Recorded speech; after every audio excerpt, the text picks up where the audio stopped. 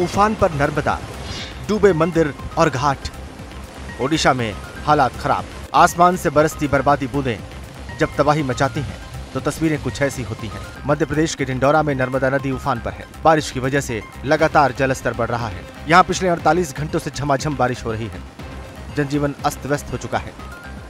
नर्मदा तट पर बने घाट और मंदिर जल समाधि ले चुके हैं। ये सैलाब सिहरन पैदा कर रहा है। मंदिरों और घाट पर पानी ने कब्जा कर लिया है। रात के सन्नाटे में नर्मदा का पानी दहाड़ मारकर बह रहा है। अमरपुर जिला मुख्यालय जाने वाले सभी रास्ते बंद हो चुके हैं। अब बर्बादी के इस मंजर को देखिए। ओडिशा में नेशनल हाईवे सत्तावन पर पानी बह रहा है और आसपास के इलाके डूब चुके हैं। नेशनल हाईवे पर लोग मछलियाँ पकड़ रहे हैं।